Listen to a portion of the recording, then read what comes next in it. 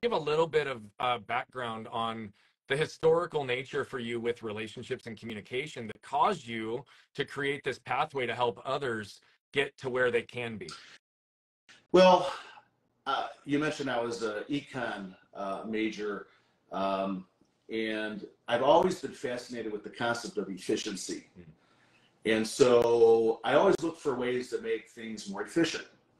So, in the course of doing a lot of relationship building for my business and uh, with respect to businesses that I've founded and other professional and personal activities, I always look for patterns. I look for ways to make things more efficient. So, for me, when I started practicing law many years ago and started to develop my own book of business, uh, it was very inefficient.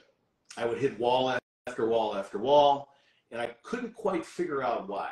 And then I started having some successes. And what I learned early on was the more unique we can create a relationship, the better it's going to be.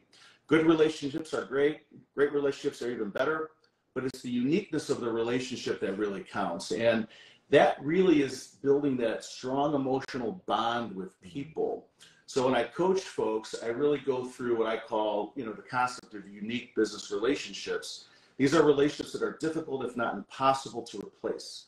So I teach